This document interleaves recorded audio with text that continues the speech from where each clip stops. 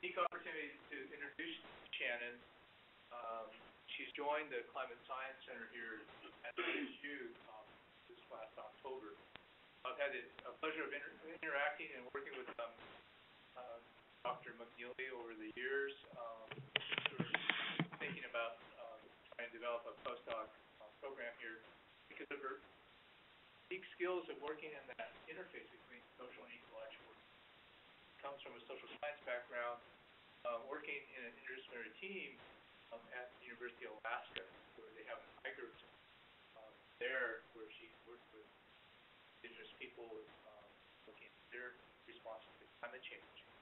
And it's through that effort, actually efforts here in Colorado, while she was working at National Center for Atmospheric Research, um, looking at uh, water issues, Yampa River Basin, initially um, together to thinking about this connection between climate change, natural resources, and people. And it's an area of great interest to me and a great um, area of importance to the Climate Science Center, so it's really a pleasure to have her on board.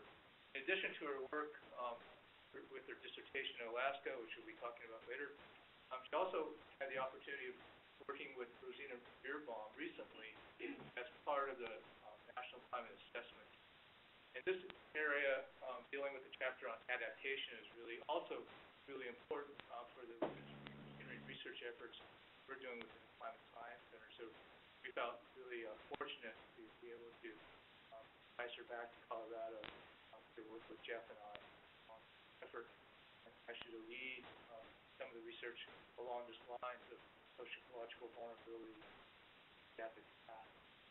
So it's our opportunity to sort of glean more of that insights in more detail from the presentation today. Thanks everyone for coming.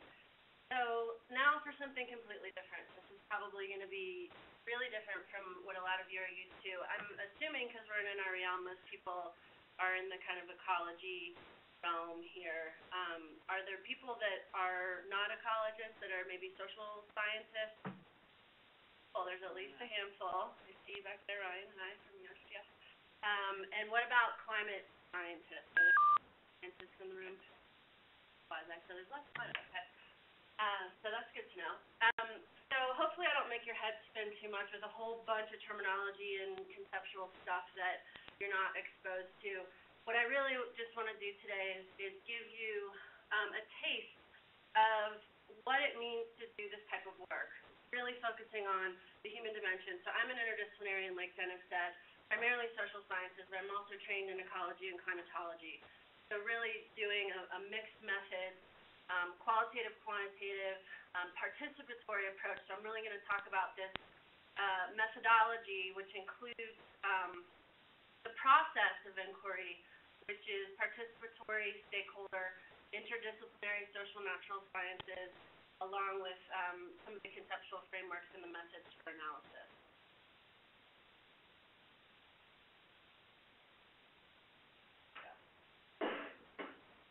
So I'm going to talk about these two case studies. Um, I've never quite presented it in this way. It's a little bit of a, a mashup, so hopefully it works. Because um, I'm going to kind of go between the two as I talk through the process and the methodology. So even though these two locations, as Dennis said, I worked in the in the interior of Alaska and Yampa, and I'll, I'll describe those a little more in a bit. Um, they're they're really different biophysically. They're really different culturally, but the methodology I'm going to talk about and the analytical framework is largely the same that I use. Um, so with the caveat that when you work with indigenous peoples, as I did in Alaska, you have to be really extra sensitive to some of the cultural issues like intellectual property rights and cultural differences and neo-colonial tensions and so on. Um, but what I'm going to do is I'm going to talk through these kind of four themes and really how you sort of start a, a project like this, really focusing, you know, what to focus on from the social perspective especially. Um, not to downplay the ecological or the climate, but just because I think this is what I was asked to do is really kind of present from the so social sciences perspective. That's what I'm going to focus on primarily, but not solely. Um, then I'm going to talk about this integrative uh, vulnerability and adaptation climate change assessment, um, talk about the conceptual frameworks and the methods for analysis. Then I'm going to talk a little bit more detail about the participatory research process itself, sort of going going about working with, closely with stakeholders. And then I'm gonna talk about the really important thing, um, which is doing this type of approach, you've come, you've come to unexpected outcomes. Because you actually learn from the bottom up what people are experiencing, what the seasonality of their livelihoods are, what the, what the seasonality of their decisions are, and so forth. So the first theme is really how you go about understanding the system, so to speak. So this kind of coupled, um, human ecological system. And really, you know, it might seem self-evident that you review existing literature, but what I want to emphasize here is that when you're doing this type of interdisciplinary approach, it's a lot of literature you have to review. So if you're going to go down this road as a researcher, just know that it takes a lot of work. For the Alaska case, I had to really um, educate myself before going in about tribal issues in Alaska. That was really, really important to have some foundation of understanding of the culture I was going into. For the Yampa, I had to learn a lot about hydrology. I didn't really know anything about hydrology going in, so I had to do a lot of literature um, searching on the hydrology part. But you really need to understand kind of the the social structure, so to speak, and how to what the what the proper protocols and entry points are for working in these kind of communities. So really identifying nodes of leadership, um, attending the relevant meetings. So in Alaska, I had to go to tribal council meetings and really get to know them through through that way and get their condoning of the project um, and partnership. In the Yampa in the Yampa case, I um, my entry point was the basin roundtables, and I'll get back to that in a minute. But it's also really important that while you are um, doing this and learning all of this uh, about the context that the participatory approach is really about striking a balance of not predetermining what the issues are going to be ahead of time. Leave space open. Uh, try and understand the system as best. Leave space open to actually co-determine with the stakeholders themselves what the key research questions are, what their key vulnerabilities are, and so on. And using the appropriate language in terms in Alaska, I started working in Alaska in 2002. I started going to the the, tribal villages in 2003. At point in time, believe it or not, it, the tribe they still were not using the term climate change. They were talking about the weather, and they actually invited scientists there to help them understand why are we experiencing these changes in weather. So I really had to learn um, how to talk to them about that, how to learn some of their own language to be able to connect with them that way, and the, some of the ways that they use words that are different the way we use words, even just the word luck, which I'm going to talk about in a bit. Um, in the Yampa it's northwest Colorado, as you all probably know. It's a very, very conservative part of the state. A lot of energy interests, a lot of old school ag interests, a lot of climate skeptics, and a lot of climate climate change deniers. So going into that context, I had to really um, be careful to depoliticize what I was doing. I actually, um, first presentation I said, I said, hey guys, look, I know you, some of you aren't concerned about this whole thing. I'm not here to, I'm here to observe and understand what you weather and how you're vulnerable things like drought and water scarcity. Um, let's just that off, not of it. And an entry point too from a scientific perspective, but really talk about the paleo record. Talk about He's to talk the fact that we know we're living in um, we have been living in a much wetter um, time period over the last century, um, and that the region is actually a, typically a lot drier, and they really responded to that, and it was an entry point to really get their trust and buy-in. And so the the um, you know one of the ways that you really get to understand from the ground up people's experience, you do interviews with locals to document their own observations of climate change and other environmental changes, ecological changes, um, understand what their knowledge and perceptions are, and their experience with climate and weather and resource management. So I'm going to I'm sorry, I'm sorry, can whoever please mute your phones? Yeah, I know. I don't know. Yes, I agree. Um, so, so since I'm talking about understanding systems, I'm going to give you a little bit of an overview of each of these cases. For the first case in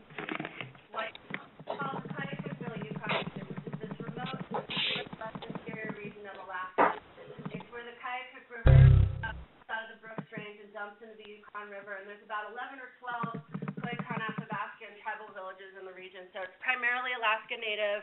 Um, they're entirely off the road system, so they're really a a, a river-based um, community. And um, because they're off the road system, the the it's a relatively pristine environment and habitat. Um, so it's a subarctic boreal forest ecoregion. They have a continental climate with extreme extremes of temperature and daylight. So they're at this point they're they're really mixed kind of traditional modern tribes, um, mixed cash subsistence economy, and because the warming trends in this region in interior Alaska interior Alaska have been among the fastest warming in the world. They've seen a lot of biophysical changes in their environment, and they're really, really keen observers about climate change, among the best in the world that I've experienced, because they're still really, really connected to their environment, because they still hunt and fish and subsist off the off the landscape. So they subsist um, mainly through hunting and fishing, with some uh, uh, very expensive less nutritional store-bought food flown in from very far away. So maintaining access to um, and success of wild har- food harvest is really essential to food security in the region. And the land ownership in this region is mostly federal land, but the primary authority for subsistence and wildlife is the state, the Alaska Department of Fish and Game. So I had to work closely not just with the tribes, but also with state um, agency managers and scientists and federal agency managers and scientists, mostly fish and wildlife, mostly uh, wildlife refuges in this region. So switching gears to the Yampa White case. So this one was focused on water resource management. Um, the, it's the Yampa White Basins region. So the White River is down here, the Yampa's here. They're both part of the Upper Colorado Basin. And this project was from more of a context of looking at water resource management cross-sectorally um, and regionally in the context of climate vulnerability and change. So I was looking across agriculture, ranching, municipal, industrial, um, energy, rec and tourism, and conservation interests. So very, very different contexts ecologically, socially, and culturally. But again, using the same approach, using the, the same methodology.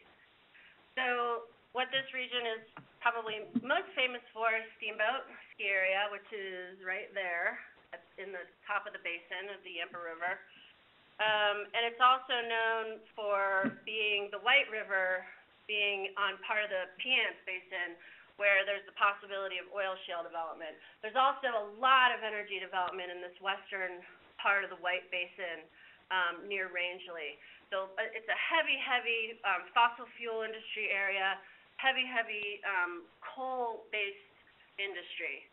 So, uh, and then Craig is the other town there, which is about 9,000 people. Steamboat's about 10,000 people. The other thing that makes this basin really interesting is the fact that, you know, they're part of this whole Colorado Colorado River Compact. So they've got several kind of big unknowns and big threats, of which climate is only a piece the possibility of a, a transmountain diversion to the Front Range um, to supply our water needs, basically. Um, the possibility of oil shale and other energy development, and the possibility of uh, water curtailments because of the Colorado Compact. So these are all big uncertainties, and they're not alone in this region. This is something that um, most of Colorado, and especially the West Slope, are really dealing with. I'm going to switch gears now to talk about the concept, the analytical approach. So as I said, this is an integrative vulnerability and adaptation assessment approach. And there's kind of these three main um, sources that I pull from, and a lot of people that do the work that I do pull from to do this work. So I'm just going to talk through this for a little bit. So the goal is to understand, you know, social ecological relationships and the dynamics in the system, as well as seasonality of livelihoods and resource management, and how that relates to well-being of both human systems and ecosystems and social ecological systems as a whole. So it's really, really important in doing this type of work, and I can't overemphasize this enough, in understanding first and foremost what's going on now and what's gone on historically in terms of their vulnerability and adaptive capacity for responding to environmental change, um, water uncertainty, climate uncertainty, et cetera. So I'm gonna talk more about these concepts of understanding current exposures and sensitivities and historical. So when I say current, I kinda mean historical up until now, to understand how they've been vulnerable to date. And then what kinds of adaptive capacity and strategies they use to, they have used and they use now, um, to respond to environmental uncertainty and risks.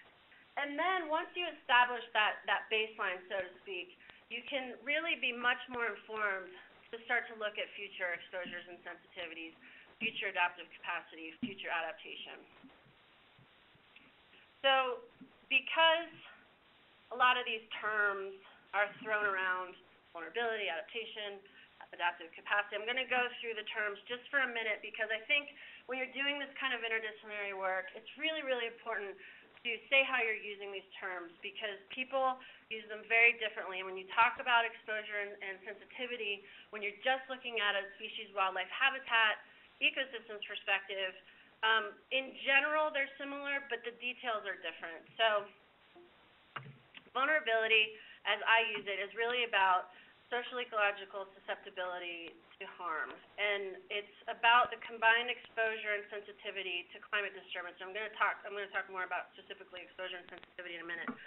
But it's really when you're looking at it from a human dimensions perspective, it's really about looking at food security, safety issues, health issues, environmental and economic and energy security. These are the types of things that we think about in terms of vulnerability from a social science perspective. So adaptive capacity is about potential. It's about natural, human, social, or institutional capital or assets, what people have to draw on when they experience some kind of climate disturbance or seasonality change. It's about having flexibility in both physical space and policy space. And by policy space, that really has to do with access and access to and influence on decision making. So what people are able to do within a regulatory or legal or policy setting. So when I talk about adaptation, I like to use the term sustainable adaptation because what it implies is a, a strategic decision making process to anticipate um, climate change that has the potential to disrupt key resource flows and reduce general well-being. And this last part is really what makes it sustainable adaptation as opposed to just adaptation. A lot of things happen and people adapt, but they're actually not good for the long run. Or they have dist- distributional justice issues where it might be good for some people but not good for others. So that's why I like to talk about sustainable adaptation because it's more, this more kind of holistic perspective on how you actually think about adaptation from a sustainability perspective. And then coping range. Coping range, coping range and adaptation are often also used interchangeably, and they actually have different meanings. Coping range is about the system's ability to cope with a certain range of climatic conditions. So that's what this is showing you right here. This is kind of a classic um, heuristic from adaptation literature, which really means that, you know, people have the ability to cope within a certain range of variability, but when the climate shifts, you start to get these events and these um, patterns that fall outside, these both kind of express the same thing in different ways. You get these events that fall outside the normal range of, of coping capabilities. So coping is really much more what I think of in the resilience sense, which is something big happens, Hurricane Sandy, um, the Colorado fires. How do people cope to get through that? Whereas adaptation is much more about being strategic to think about how is the climate going to change, and what are we going to do to prepare for that change? So the, the, the difference is, is important from an analytical perspective, especially when you're looking at um, social systems. And just to make the caveat that I'm, I'm not talking about individual adaptations here either, or biological adaptations. I'm talking about is societal collective adaptations. That distinction is important as well. So this is the, the second sort of uh, source which is this Turner et al. paper that was in PNAS. And by the way, if anybody um, wants any of these references, please feel free to contact me and I can send you citations or whatever you want. So, so this is the Turner et al. thinking. This has had a big influence on the social science throughout vulnerability and adaptation, which is really kind of understanding from a systems approach social and environmental um, interactions. So, you know, the ecological vulnerability and adaptation really comes in here. So it's a part of this much bigger, much messier um, look at all of the drivers and causalities of vulnerability and all the sources of adaptation and drivers or adaptive capacity and drivers of adaptation. This is also really important to think about these differences in scale. So the blue is kind of the system of analysis that you're looking at. The, yellow is the kind of larger region, and there's cross-scale linkages between these. And while they might not be the focus of your research, at least understanding that they're there and, and the role that they play is really important. And then this is kind of the larger global um, system in which you have these drivers and feedbacks um, when you're talking about climate change. So the third part of this analytical framework, um, won't come up, there we go is really about how you identify the key determinants of vulnerability and adaptive capacity. And this is when you start getting into the um, the methods part, which is how do you how do you analyze this stuff? How do you collect data? How do you how do you measure it or or look at it qualitatively? And so you guys aren't going to be able to read all of this, but just to to give you a sense of so this is what we mean when we talk about exposure. And this is largely the same as what you've probably heard from other presenters in terms of exposure, the way they talk about exposure when you're looking at ecosystem vulnerability, which this is really the climate driver. So temperature and precipitation change, seasonality shifts, extreme weather. There are others that aren't included here. And then also land use change. Um, in other words, to take Hurricane Sandy, since it's the most recent thing on our minds, you know, exposure is um, increased by people building in you know, floodplains, for example, or building in coastal areas where storage terms are, are increasing. So that's increasing your, your exposure. Sensitivity, on the other hand, is where it really diverges between ecological conceptions of sensitivity, which are focused again on larger species, ecosystems, you know, habitats, versus social systems. So what we talk about when we talk when we look at um, sensitivity of social systems is, like I mentioned earlier, is there a lack of options or resources or capital, whether that's financial capital, whether that's natural capital, whether that's political capital, institutional capital, whatever it is, and I'm going to get into detail a little bit more on the next slide on what that means exactly. Um, are we talking about politically marginalized or disempowered people? Um, you know, economically poor people, tribes are often often marginalized or disempowered when it comes to issues of how you respond to um, environmental change. Um, are you sensitive because you have these degraded lands or ecosystems and multiple stressors or cumulative effects? So that's like, let's say there's another freak superstorm hurricane next week. Um, the people in New York and New Jersey are already sensitive because they just went through Hurricane Sandy. They're still trying to, to rebuild from that. That's what this is about. And then vulnerability outcomes, these are just some examples. Disruption to ecosystem services, um, energy financial insecurity, health impacts or mortality, and reduced adaptive capacity.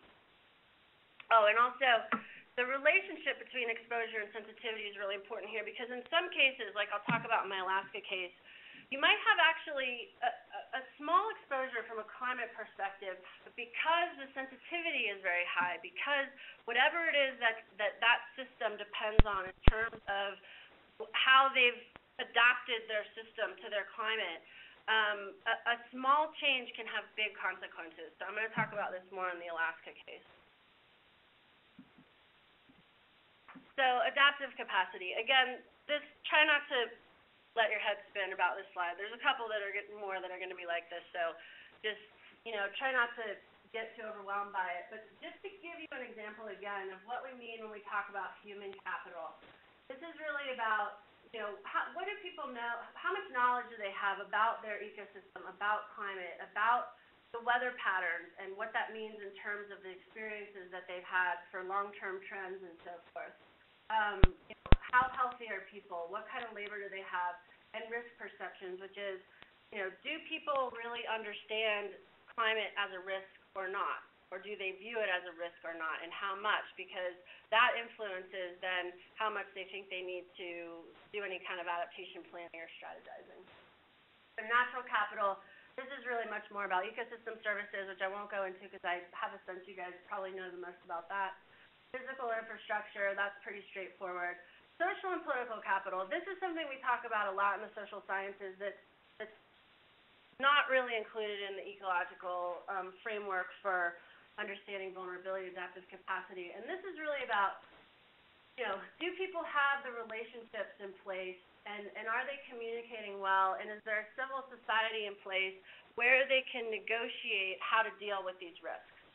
That's it in a nutshell, but there's a, there's a whole bunch of scholarship on this topic, and it's something that, you know, ecologists are really interested in ecological relationships. Social scientists are really interested in human relationships, and that's where a lot of this comes in. Um, and institutional capital as well. So again, this is kind of, you know, in institutions like water, water resource management, for example, or conservation, natural, natural resource management in federal agencies. What kind of institutions in- are set in place in terms of, are there flexible rules and regulations, for example, to, um, respond to changing, changing seasonality or climate disturbances that might change habitat or might change, um, species distribution or whatever it is? Shannon, I interject and add one thing to the natural capital description. A lot of the focus has really been on sort of the biological renewable side, but I think where many of the conflicts arise is where the non-renewable natural capital really needs to be embedded and actually explored more in conjunction with renewable. Yeah. Because coal, um, oil, those sorts of non-renewable resources as part of natural capital has, has sort of been pushed off on a different Mhm. discussion place instead of engaging in, in a more integrated way of looking at policy renewable resources, um, simultaneously. Mhm. Yeah, that's that's a really great point. Thanks, Dennis. so I'm gonna get a little bit into the methods for analysis, just again to give you a flavor of how I go about doing some of this analysis. Um, and again, these are gonna be some some terms you you probably aren't familiar with and some methods you're not familiar with, and that's okay. If you are interested and wanna learn more about it, please, like I said, contact me later and I can give you some resources and we can talk more about um how you might go about doing some of this work. But one of the main t- one of the main um kind of approaches that I use is this grounded theory approach. And again, this this goes hand in hand with doing this kind of bottom up analysis of social ecological understanding, um, which is really inductive in nature. So it's it's it's not it's not hypothesis driven in the same way that you think of a kind of a typical conventional scientific approach. It's really about gathering data and then coding and memoing. Memoing is really um, noting to yourself different aspects of what's going on in the data, and I won't get into detail about that. But it's really about theory building and then developing hypotheses and understanding networks. And what I mean by networks, and th- again, don't let this let your make your head explode, but this is the kind of stuff that I do, which is the data. It, from the data, I derive these kind of connections in the systems and these relationships between these different nodes in the system. And this is a pretty complicated process that I can't possibly explain to you right now. But basically what you're trying to do is you're trying to get to um, a, an easier to understand and communicate understanding about what's going on in the system and these relationships to ultimately do more um, kind of focused analysis on what some of the key drivers and dynamics are in the system that really need to be understood to understand um, vulnerability and adaptation. And this includes a lot of data, data iterations, um, not just with the team you're working with, because this, this kind of work really, you need a team of people. You can't do this all by yourself, because there's a lot of components of it. But it's data iterations between, for example, in Alaska, the interviews I was conducting with native elders and their observations of climate change, and then we went into the climate data to see what kind of patterns we were seeing in this region, and really kind of under, letting them inform each other in terms of how do we look at this data? How do we interpret what we're seeing in this data um, from both perspectives? What does the climate data tell us that might um, enlighten us a little more in terms of what they're talking about in the interviews and vice versa? And then it's really about iterating this with the stakeholders. This is a mid, mid, um, an interim report that we did in one of the villages I worked in. And this, this meeting in particular, we did it in a bunch of villages, but it was really, really important because we really rolled up our sleeves with these guys and sat down with my PowerPoint, and they were giving me information based on their observations, and we were, we were iterating back to them what we were finding from the climate data. And this type of approach is, is just, it's cumbersome, it takes a long time, it's, it's not easy to do, but it's so worth it, because the outcomes that come out of this are, you, you would never expect it going in, and again, I'll talk about this more towards the end. And then you rinse and repeat.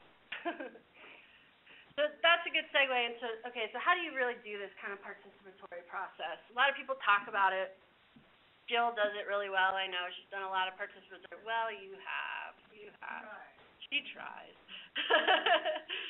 Um, so, you know, again, sort of really interviewing and key informants and observing community interactions.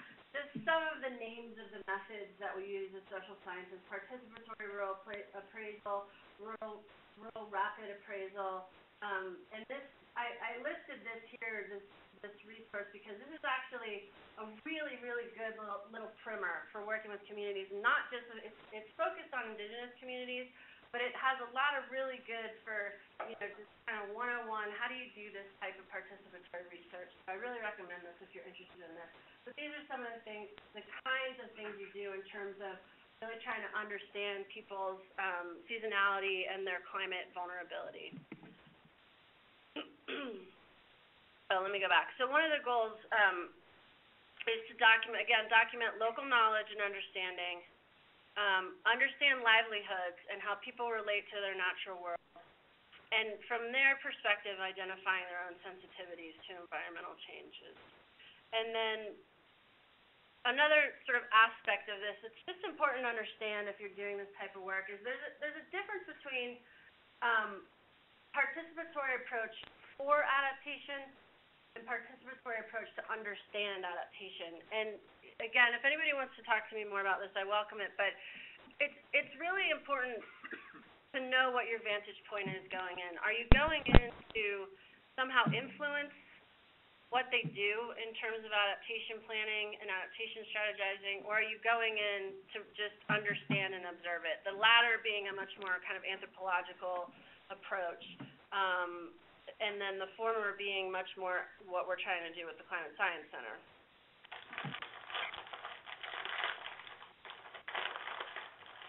This is also a really important point for doing this kind of work, which is the, the goal is not to, to confirm or correlate Western science with local knowledge and local observations.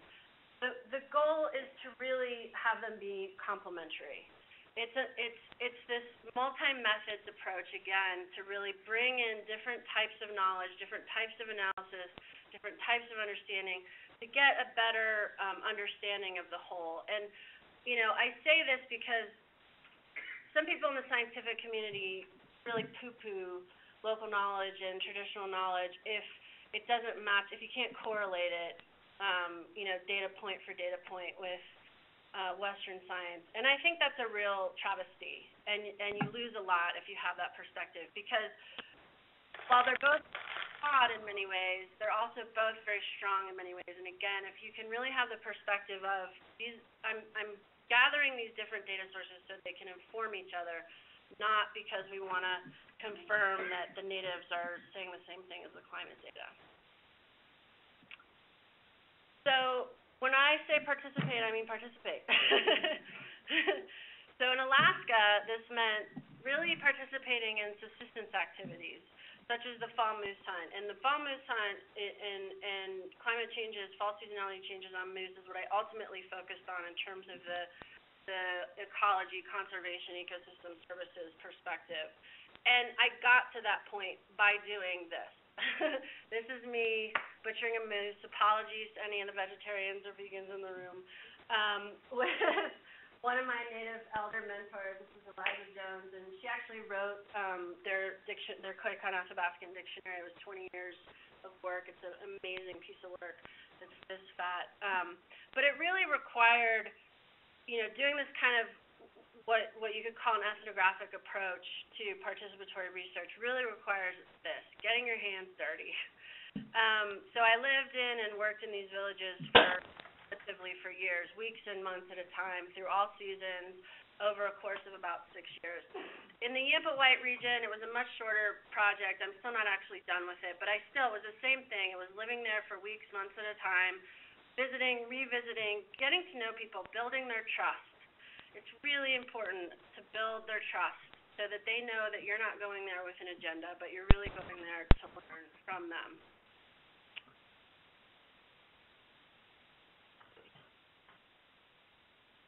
And so this is just a conceptual way to think about this type of work. So really, what it requires is going in from the beginning, you know, after you do your sort of homework in the beginning, is having these really kind of broad research questions. So for me, it was, you know, what are the environmental changes people are experiencing in this region? Um, you know, what, wh- who is vulnerable, where and when and why? Those kinds of big questions.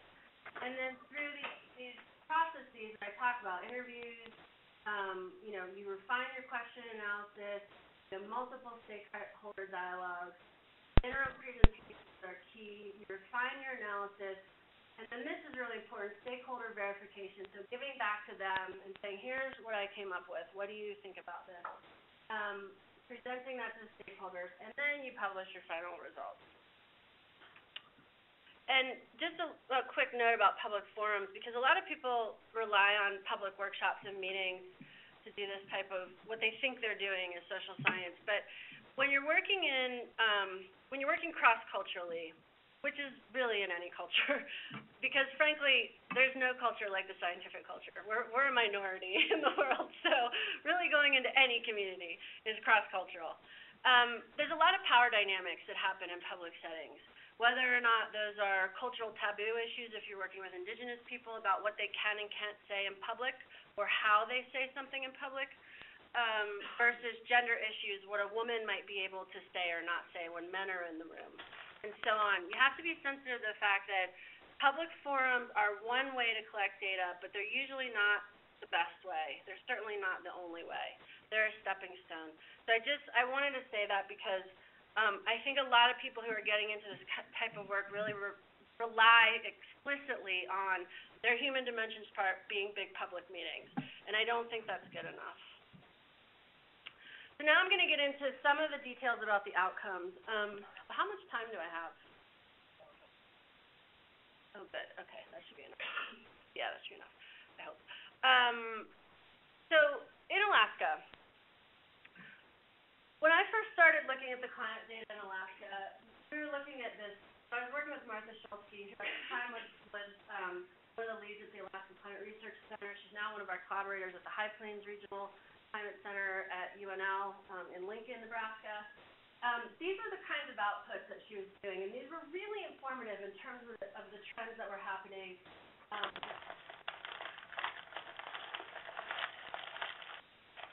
different stations throughout the region, broken down by region. This is my region, the interior region. Um, you know, winter trends are significant. I mean, we're talking about some, this, this is like a, what is that, fifty plus, almost sixty year trend. We're talking about some stations showing almost a ten degree temperature increase in that amount of time. That's pretty significant. Um, and then followed by springtime change, summer, and autumn. The interesting thing about this autumn record was that it didn't show a heck of a big change.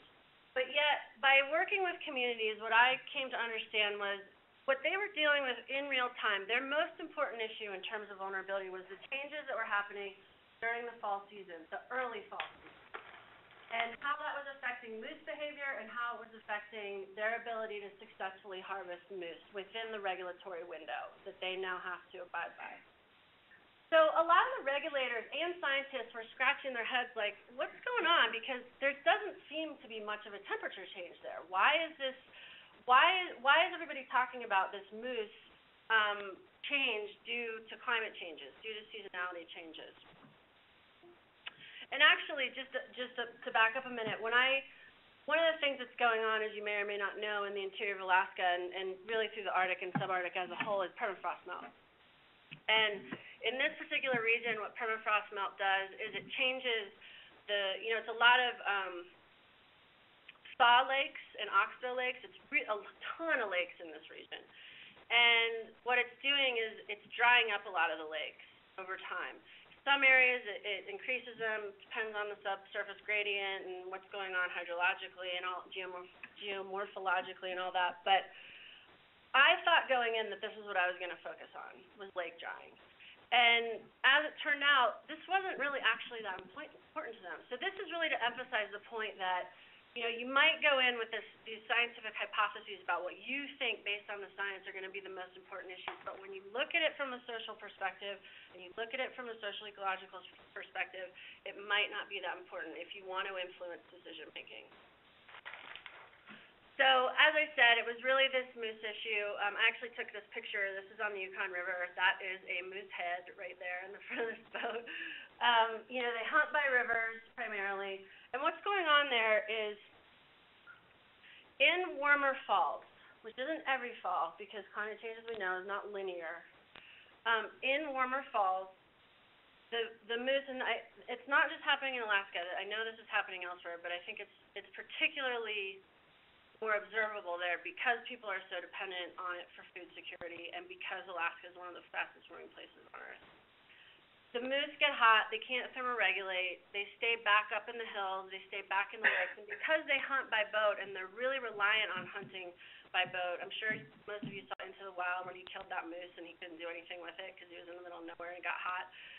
That made me laugh because these people would just, I mean, he would get laughed out of the village if that guy tried to do that with these guys because that is really critical to them, that the temperatures are right, that they can access the moose because the water levels are right, and that the moose are actually coming out and starting their rut behavior. That means calling, that means moving around, that means fighting, looking for their mates. That's how these guys are able to find them. And so in warmer falls, it changes the moose's behavior, which thereby changes their ability to access the moose.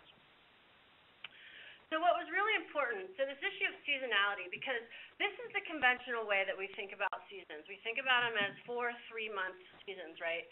Well, in Alaska, in this particular region, seasonality is much, much more nuanced, and I'm going to actually get to some images of that in a minute. But early fall and late fall are are characteristically very different, and we're talking about months that span August, September for early fall, and then in October, November, when the rivers freeze up and it becomes late fall into early winter, there's a whole bunch of different stuff that's going on in the system in terms of how the ecosystem is responding to seasonality change, in terms of how the people are responding to seasonality change.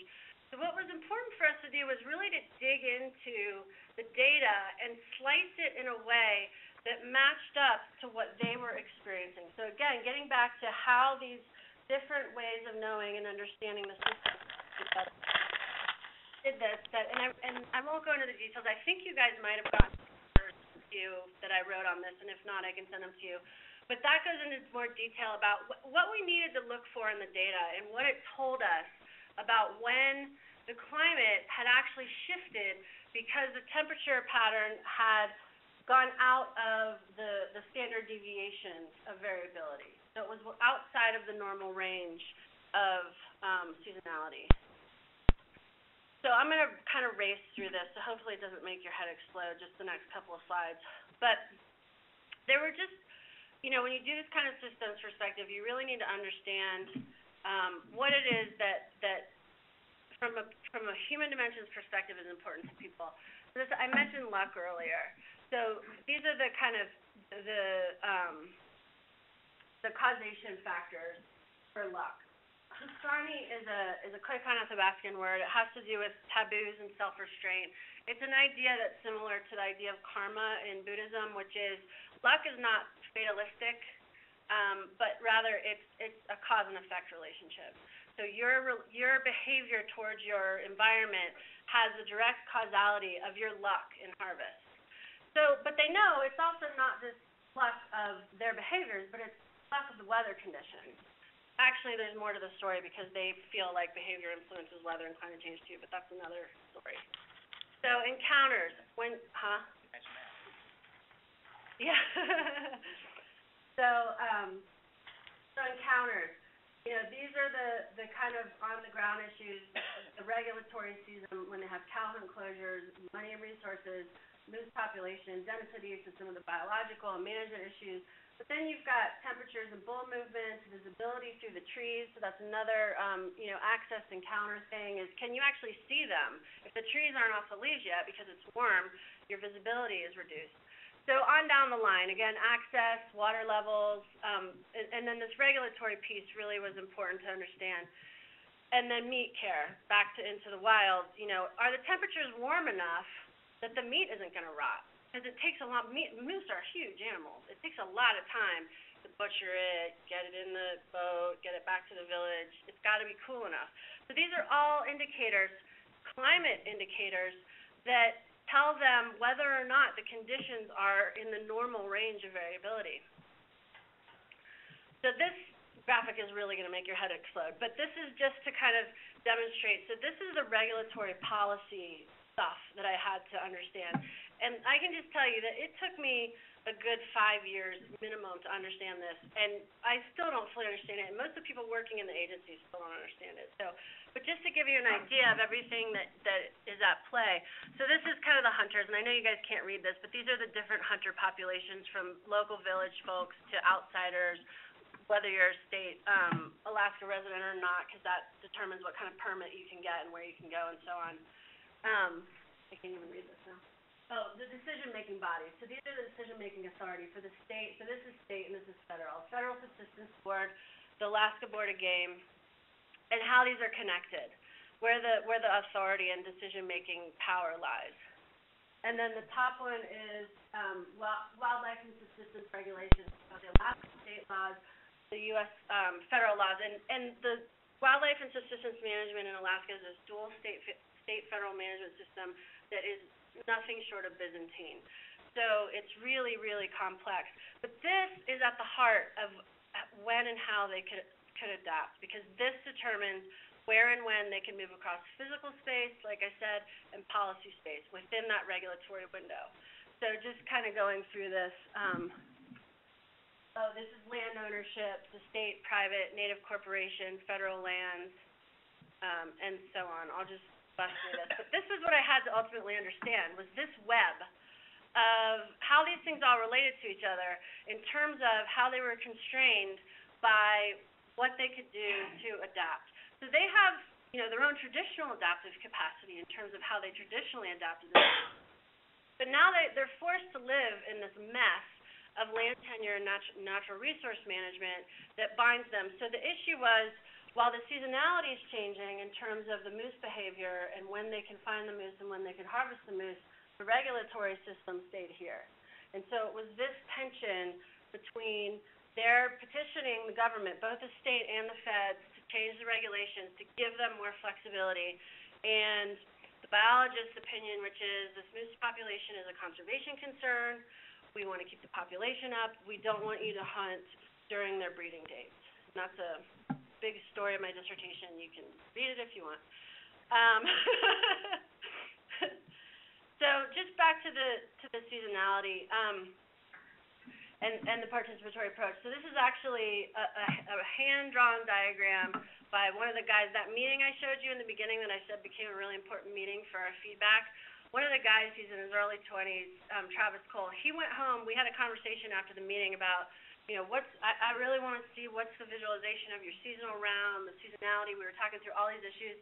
So he went and annotated this seasonality, this Koyukon seasonal round image, and then I hired a graphic artist to do this, which was to expand it to include their terms for the seasons. And this poster, um, will eventually be at the Climate Science Center if anyone wants to take a better look. I think it's in a tube I just brought back to my NCAR lab, uh, office, I'm not sure. Um, and what they're doing, their, their names for the seasons and for the months are actually, their, their native names are actually based on what they are doing on the landscape and what the e- ecosystem is doing. So again, understanding the seasonality was central to understanding vulnerability and adaptive capacity in this region. And then this is the final poster. So this is the full integration. These are all the elders I interviewed. Um, this is the full integration of some of the interviews and the analysis that we did based on these interviews and how we understood how seasons had come out of balance in this region. So the Yampa White Basins, um, since I'm running out of time and since this project wasn't as lengthy, I'm gonna kind of fly through this. But some of the issues that they're dealing with that probably a lot of you know, um, in terms of exposure, spring change, early runoff, um, chronic drought that they've been dealing with in the early 2000s and now again in, in this decade. Um, water availability issues and the projections that, um, you know, the, the, the demand doesn't meet what the availability is gonna be, and there's all kinds of science going on about this, as I'm sure you know. And then their sensitivity really is around these, um, industries, agriculture, the ranching community, still primarily, um, their economic driver, energy, as I mentioned, and rec and tourism. And I should have added conservation, because that's actually, um, plays another big role. They've got a stretch of the, um, Upper Colorado Fish Recovery Program in the Yampa River, so there's four endangered species of fish in a stretch of the Yampa. Um, and this is just an image, I, I really like this image, because this image is taken from Carpenter Ranch, which is a Nature Conservancy property in that region. You've got kind of, it's still a working ranch, so it's a conservation property. They, they harvest hay there, and then you've got the Hayden coal plant in the back, and then if you squint really hard, you might be able to see Steamboat way back there. So this really kind of encapsulates all of the, the cross-sectoral issues that, that they're dealing with, that they have to try and figure out how to adapt given these projections of water scarcity and climate change in the, in the future. So, again, this is what I'm, what I've been really interested in, is understanding the culture and the worldviews, how people perceive risk in that region, because a lot of people don't perceive climate change as a risk, um, livelihood strategies, and how they're adapting in terms of water resource management. So one of the interesting and, and somewhat surprising findings about this region because people think about the Yampa Basin they think, oh my God, there's tons of snow. You know, the Yampa River is one of the least regulated rivers in the state, so they've got all this water. They're so hydrologically rich, they don't really have a lot of vulnerabilities, but they actually do. And what what was interesting about this story is this was um, my analysis on what happened in response to the 2002 drought. So one of the things I was looking at is looking at the 2002 drought as an analog for water scarcity. How were people vulnerable? Where were the hot spots? Who was vulnerable? Where? When? Why? All that stuff. Um, what kind of adaptive capacity did they have? What kind of coping response did they have? And did did they set any adaptations in place to deal with future climate change and water scarcity? And one of the really interesting stories that came out of this was they still have never the Yampa is known for still never having had a legal curtailment call on the main stem of the Yampa River. And part of the reason they've been able to do that is because they have a lot of really strong social capital. In the 2002 drought, they were actually able to negotiate their way out of a legal call. Though, with that said, the thing that brought them closest to the call was energy and the water energy nexus. And here's why. Because the Tri-State Power Plant, which is just south of Craig, started running out of water. It's a coal-fired power plant. They have to have water to keep the power on. They started running out of, out of water towards the end of the summer. The city of Craig started running out of water towards the end of the summer. The water commissioner told the city of Craig that he was going to have to curtail them the shepherd water from the Elkhead, actually not from the Elkhead Reservoir, from the Stagecoach Reservoir, which is actually in the ne- next map, which is way down here. It's about 60 road miles from the power plant, which the Yampa runs along, along the road, so it's about that in river miles. Um, they had to shepherd water all the way from Stagecoach to Tri-State Power Plant, and even though there wasn't a formal formal call, they did have to administer the river, which meant they had to shut down a bunch of people um, so that they could get this water that the energy company owned and was calling for out of the reservoir to Tri-State Power Plant. They also have Hayden Power Plant in the region, and so the real story in the 2002 drought was it was about this water energy nexus in that the Hayden Power Plant also started running out of water. They were calling for water out of both Steamboat Lake and Stagecoach Reservoir. Um, and this is what nearly kind of reached a tipping point for them. Because really, when the power goes out, everybody's kind of screwed, right? So that was really the thing for them. Um, what the, an adaptation that they've set in place since is, is they've they've expanded Elkhead Reservoir and that was actually in response to the programmatic biological opinion for the endangered fish. But that actually has the co-benefit of providing water not only for the power plant and for the fish, also for the municipality, also for the ranchers. And there's actually been some really interesting innovations that have happened in the basin, um, with that expansion and with some water leasing that's happened. And I, I need to follow up and do more research, cause a lot of this manifested with the two thousand twelve drought, and I've been away, so I haven't been able to, to follow up, but that's gonna be my next step of this research. But again, you know, I would not have understood this had I not spent the time with the stakeholders doing the work that I did. And this is really critical, and it's not just critical for the Yampa Basin. This is critical for a lot of the West, um, this water energy nexus issue, because it takes water to, water to make energy, it takes energy to move water around. And so this, to me, is one of the most important issues that we're gonna be dealing with in terms of climate change impacts a lot of the adaptations, this is my last slide, a lot of the adaptations that have been put in place are because of this, the Basin Roundtable process. So this is the other thing that I'm, that I'm writing about, is the statewide Basin Roundtable process. This, this is really where these folks negotiate these issues. And what I call an adaptation in process, and it's not specifically for climate change, but because it's water resource management, and because climate is so, um, integral to understanding future projections know these are a lot of skeptics at this table. It's not just because they're from throughout the whole basin. So you've got people from Liberal Routt County, Steamboat, you've got people from Craig, you've got people from Rangely. But by and large, these are ranchers um, and uh, energy coal industry people. But they actually have to include climate in their negotiations, and so it's really fascinating to look at how are they understanding climate as a risk? How are they including it in their basin assessment needs studies? and how are they preparing for the future. So those papers I'm working on, and they'll be published hopefully in the next six months to a year. so that's it.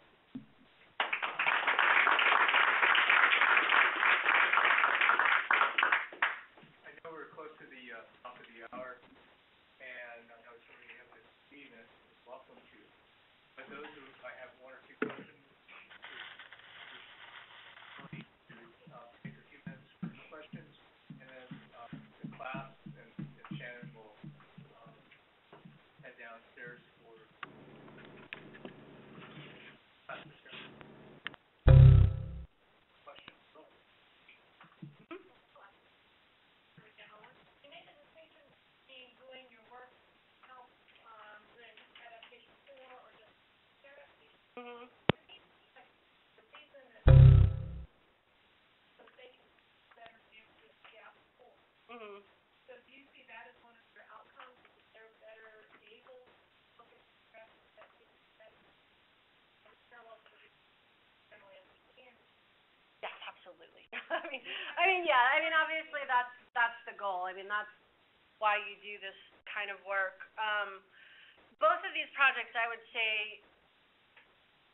especially the Alaska one, the Yampa one is still in process, and since I'm now at the Climate Science Center, it's probably gonna change in terms of, is, is it really the of or the for sort of question. Um, you know, you, you hope that it helps inform them of the, especially the climate piece. I mean, I think about climate and, and about this kind of human dimensions work as making the unknown known, making the unconscious conscious.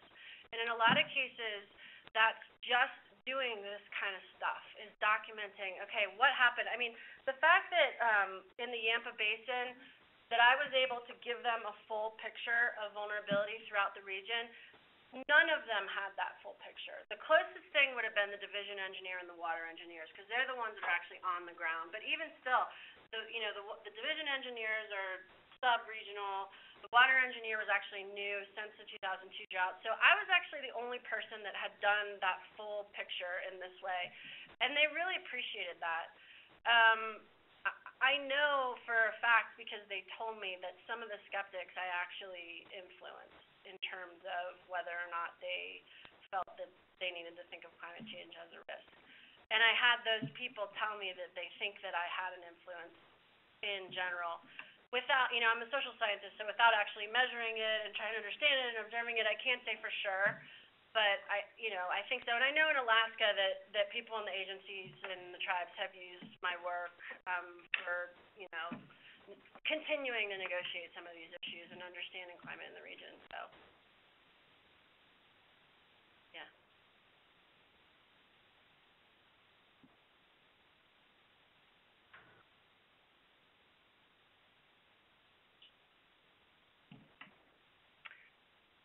That's a drink we should have over a glass of wine.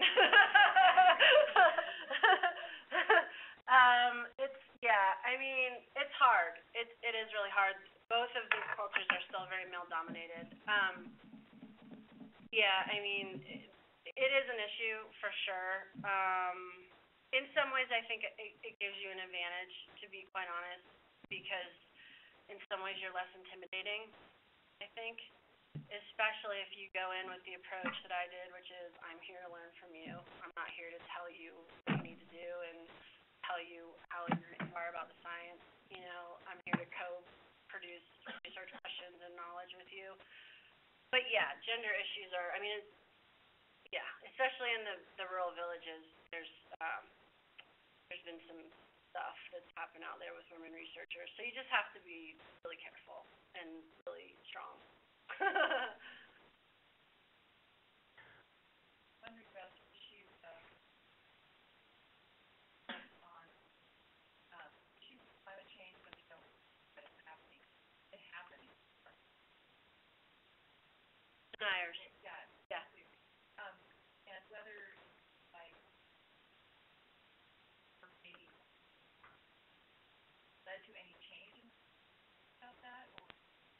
say, like I said a minute ago, I would say that that's true more so with the quote-unquote skeptics than the, than the full-on deniers. The deniers, I probably didn't change that much, although I gotta say, there's, there's one in particular in the, on the Yampa roundtable, full-on denier, um, and very vocal about it, and, um, he would come up to me at the roundtable meetings and be like, how's your research going? Oh, great, you know, so, it's hard to say, um, but I know, you know, the, the skeptics in the region, they actually have a lot of really good arguments. I mean, they're not just ignorant. They have concerns, not just from an economic perspective, but really questioning the science and understanding how to question the science in that, you know, we don't really have a firm grasp on projections of precipitation and snowpack at this point, on a scale that matters to them. Um, and they're pretty smart about that. And so, you know, it gets down to this risk issue, which is a whole other um, body of work that I am writing about, which is cultural theory of risk and, you know, what people think is risky and what people don't think is risky and how their worldview informs that. But I would say there were there were definitely a handful of skeptics who I got to know really well. Some of them became really good friends of mine. I mean, we still call each other on phone and, you know, I mean, email and so Facebook, you know, so um so I would say that that I definitely had an influence, but the, but their skepticism is actually really valid in a lot of ways, and so um, I mean my one of my sort of take home messages when I gave my my last presentation to the roundtable on this was, you know, whether or not you believe climate change is human caused, it really behooves you to understand this stuff really well and to not just fight it, but to really understand the science as best you can because it's gonna influence these big decisions, whether you like it or not. You know, in terms of the, uh, if there's a trans, if they're a basin of origin for a transbasin versus front range, for example. Um, you know, how energy development takes off in that region, given water scarcity issues, things like that. And they, they, they totally agree, you know, so, um, yeah, I mean, you know, some people just aren't gonna believe it no matter what, and it's a small fraction, and there's not much you can do about it, so.